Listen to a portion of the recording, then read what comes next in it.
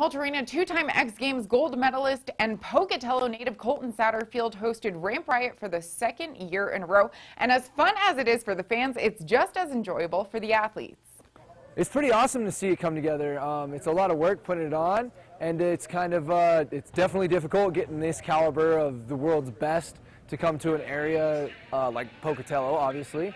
But um, putting it together, a little tough, but this is the time that it pays off. It's totally worth it. The people get excited, they love it, and uh, I'm glad it's supported. I've done a lot of shows and been kind of all over the world doing stuff, but uh, just the energy of all the athletes, they were stoked on it. The fans were really into it, and then uh, I've never been to a show where we actually sign autographs at halftime and it's all spread out, and like literally every person that comes for a ticket at $15 can meet every single rider. So never been to an event like that, so it's pretty awesome to see that.